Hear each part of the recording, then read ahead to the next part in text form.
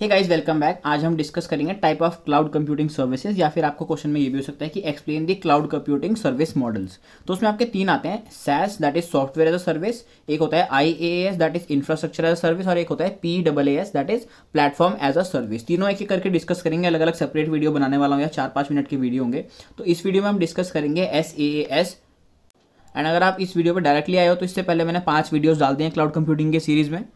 Like like, मैंने आपको previous video में पूरा क्लाउड कंप्यूटिंग का आर्किटेक्चर पूरा डिटेल में समझाया है।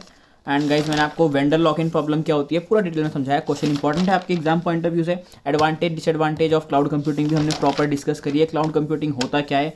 एंड उसके कैरेक्टरिस्टिक्स एक और वीडियो में डिस्कस करें, वो बहुत ही इंपॉर्टेंट है। जनरल एग्ज़ाम में पूछ लेते हैं तो आप जाके रेफर कर सकते हैं प्लेलिस्ट की लिंक डिस्क्रिप्शन में।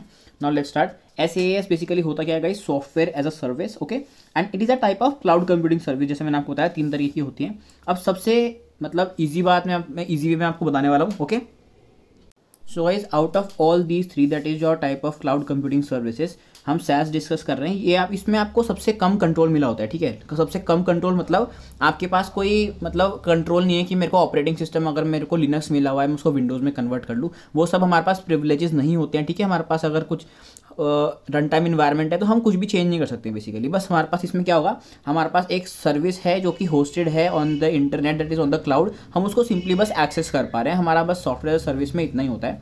तो वही लिखा हुआ है it is a way of delivering services and application over the internet and maintenance of software और हार्डवेयर की हमें कोई चिंता करने की ज़रूरत नहीं है, वो हमेशा जो हमारा वेंडर है, वही प्रोवाइड करवाएगा।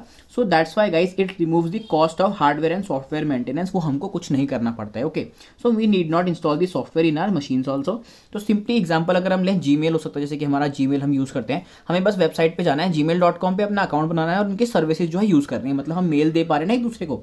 मैं आपको मेल कर पा रहा हूँ, आप मेरे को मेल कर पा रहे हो तो हम सिंपली डायरेक्टली सर्विसेज़ यूज़ कर रहे हैं। या फिर ड्रॉप बॉक्स हो गया, मैं उसमें अपनी फ़ोटो सेव कर सकता हूँ, या फिर आप अपनी फ़ोटो सेव कर सकते हो। तो we are directly using the services हमें कोई मतलब नहीं है कि वो जो हमारा मतलब जो सॉफ्टवेयर है बेसिकली वो कहाँ पे लोकेटेड है, किस किस सर्वर पे डाला हुआ है, या फिर कौन से मशीन पे है ना मतलब कौन सा विंडोज़ या फिर क्या है, उससे हमें कोई लेना देना नहीं है। तो simply we are using the services normally so as when we talk of the characteristics it makes the software available over the internet ये हम ऊपर पढ़ चुके हैं, ठीक है? सिंपली और सॉफ्टवेयर जो है और जो हमारे हार्डवेयर है, सब कुछ मेंटेन मेंटेन कौन करता है? वेंडर मेंटेन करता है, जो आपका क्लाउड सर्विस प्रोवाइडर है okay they maintain that and cost effective है, कैसे हम पे एज पर यूज़ मॉडल हमारा यहाँ पे हमेशा वैलिड रहेगा, कोई भी हमारा क्लाउड का मतलब सर्विस हो, है ना? मतलब हम जितना यूज़ कर रहे हैं, अगर हम मंथली बेसिस पे यूज़ कर रहे हैं तो मंथ की फ़ीस पे करेंगे। अगर हम चार घंटे के लिए ले रहे हैं मतलब आर्ली बेसिस पे तो हम आवर्स के हिसाब से पे करेंगे okay so we will pay as per use and it will be available on demand जब भी हम उसको मतलब एक्सेस करना चाहेंगे सर्विसेज़ को तो हम उन सर्विसेज़ को कभी भी एक्सेस कर सकते हैं according to our need okay so they are available always जब भी हमारी डिमांड है, हम उसको यूज़ कर सकते हैं anywhere and any time next is guys हम कभी भी अपने रिसोर्सेज को स्केल अप कर सकते हैं या फिर स्केल डाउन कर सकते हैं, ठीक है? Any time according to our need और ये भी हम अपने जो तीनों हमारे होने वाले हम तीनों पढ़ेंगे ना सर्विसेज़ एक तो हम एस ए एस पढ़ रहे हैं अभी सॉफ्टवेयर एज अ सर्विस जो हम अगले पढ़ेंगे प्लेटफॉर्म एज अ सर्विस और इंफ्रास्ट्रक्चर एज अ सर्विस ये वाला पॉइंट सब में हमारा एप्लीकेबल हुआ कि हम कभी भी अपना मतलब नीड के अकॉर्डिंग स्केल अप कर सकते हैं रिसोर्सेज को और कभी भी हम उनको स्केल डाउन भी कर सकते हैं। That is totally up to us now it also work on shared model shared model का मतलब क्या है यार? जैसे कि फॉर एन एग्ज़ाम्पल कोई आपकी एप्लीकेशन है सपोज़ ठीक है? वो सर्वर पर डली हुई है। अब उसका क्या है? वो ही एप्लीकेशन आपकी मतलब कस्टमर वन भी यूज़ करेगा कस्टमर टू भी यूज़ करेगा थ्री भी यूज़ करेगा ठीक है? मतलब हम उसको उस पर रजिस्टर वगैरह कर लेंगे तो उसी का हम एक इंस्टेंस लेके उस पर काम करने वाले हैं बेसिकली सो so, एक ही एप्लीकेशन है जो कि सर्वर पर पड़ी हुई है और बहुत सारे लोग उसको यूज़ कर रहे हैं. That's why same application use हो रही है. तो हम बोल रहे हैं कि शेड मॉडल है. One software is use by multiple clients okay then next is software are automatically upgraded हमें उसको टेंशन नहीं लेनी है। सॉफ्टवेयर अपने आप वो अपग्रेड करेंगे जो हमारे वेंडर्स हैं तो उसकी हमें कोई टेंशन लेनी नहीं है। बेसिकली हमें किसी चीज़ की टेंशन नहीं लेनी। बस हमें सिंपली अपनी उनकी जो सर्विसेज़ है, उनको यूज़ करना है और जितना उनका पैसा बनता है अकॉर्डिंग टू आवर्स या फिर अकॉर्डिंग टू मंथ उतना हमको पे करना है, जितना हम यूज़ करेंगे। ओके बेनिफिट्स की अगर हम बात करते हैं दोस्तों, सबसे पहली बात तो ये efficient use of software licenses इसका मतलब क्या है दोस्तों? अब फॉर एन एग्ज़ाम्पल हमारे पास कोई सॉफ्टवेयर है। Okay okay? एंड उस सॉफ्टवेयर का कॉस्ट बहुत ही ज़्यादा है। मतलब अगर आप नॉर्मल पर्सन है, उसको खरीदने की ज़रूरत है तो उसके लिए बहुत ज़्यादा हो जाएगा। सपोज़ थाउजेंड्स में या फिर लैक्स में।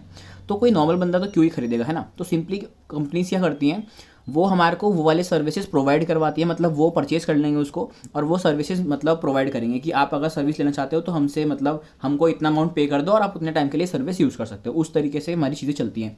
तो वहाँ पर हमारा efficient use of software licenses हो जाता है। प्लस प्लेटफॉर्म इंडिपेंडेंस है मतलब क्या है इसका? अगर हमारे पास एंड्रॉइड है या फिर हम मैक पे यूज़ कर रहे हैं फिर विंडोज़ पे यूज़ कर रहे हैं, हम कहीं पर भी इसको यूज़ कर सकते हैं एज सॉफ्टवेयर एज सर्विस को, ठीक है? जो भी हमारे सर्विसेज़ होंगे। इसमें कोई हमारा प्लेटफॉर्म का लोचा नहीं है। मल्टी टीनेंट सॉल्यूशन का मतलब वही है कि हमारे पास जो भी रिसोर्सेज हैं गाइज़ उनको हम शेड फॉर्मेट में यूज़ कर रहे हैं. मतलब जो रिसोर्सेज हैं, उसको आप भी यूज़ कर पा रहे हो, मैं भी यूज़ कर पा रहा हूँ, ठीक है? तो वही आपका मल्टी टीनेंट सॉल्यूशन हो गया. स्केल अप स्केल डाउन कभी भी कर सकते हो. वही आपका बेनिफिट में भी आ गया, जो कि कैरेक्टरिस्टिक थी. And accessible any time any and reduced time why we can use application directly from the browser अब हमारा टाइम इसलिए बच रहा है कि हमको यार ना इंस्टॉलेशन करनी, ना हमें अपग्रेड करने हैं सॉफ्टवेयर ना हमको टेंशन लेने की यार इसमें नया अपग्रेड हो गया तो हम उसको कन्वर्ट करना पड़ेगा या फिर अपग्रेड मारना पड़ेगा। वो सब चीज़ों का हमें झमेला पालना ही नहीं है। तो वो सब चीज़ें वेंडर अपने आप देखेगा। And it is also cost effective that is pay as per use जितना हम यूज़ करेंगे, उतना हम पे करेंगे, ठीक है? तो बेसिकली आपकी जो कैरेक्टरिस्टिक्स हैं और जो बेनिफिट्स है ऑलमोस्ट सिमिलर टाइप के ही हैं, ठीक है? बस आपको पता होना चाहिए कि चीज़ें वर्क कैसे कर रही हैं। एंड एग्ज़ाम्पल अगर मैं बात करता हूँ तो आपका जैसे कि आपने यूज़ करा ही होगा, कहीं ना कहीं ड्रॉप बॉक्स हो गया या फिर आपने जी यूज़ किया हुआ है ना? गूगल ड्राइव पे भी अपने डेटा को स्टोर करते हो तो ये सब चीज़ें आपके सिंपली सॉफ्टवेयर एज सर्विस हो गया। क्यों? हम सिंपली अपना मतलब एक अकाउंट बना रहे हैं उनको यूज़ कर रहे हैं। हमें कोई मतलब इसके लिए स्पेसिफिकली सॉफ्टवेयर को इंस्टॉल नहीं करना पड़ रहा है ना? सिंपली हम जाएँगे अगर ड्रॉप बॉक्स डॉट कॉम पर हम सिंपली उसको एक्सेस कर पा रहे हैं सर्विस को।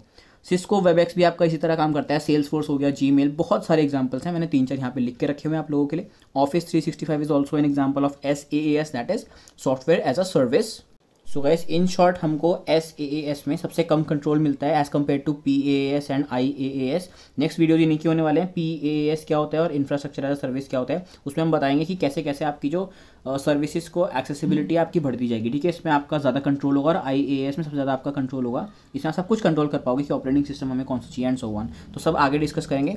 सो so, ये था हमारा एस ए एस वीडियो चलिए तो प्लीज़ लाइक ज़रूर कीजिए दोस्तों। एंड चैनल पर नहीं तो प्लीज़ सब्सक्राइब कीजिएगा। ऐसे ही बहुत सारी वीडियोस मैंने डाले हुए इंटरव्यू प्रिपरेशन आपका क्रिप्टोग्राफी की बेस्ट सीरीज़ आपको मिल जाएगी। एंड बहुत सारे एजुकेशनल वीडियोस डाले हुए तो प्लीज़ शेयर कीजिए जूनियर्स के साथ, अपने फ्रेंड्स के साथ। And thanks for watching take care good bye जय हिंद। वंदे मातरम।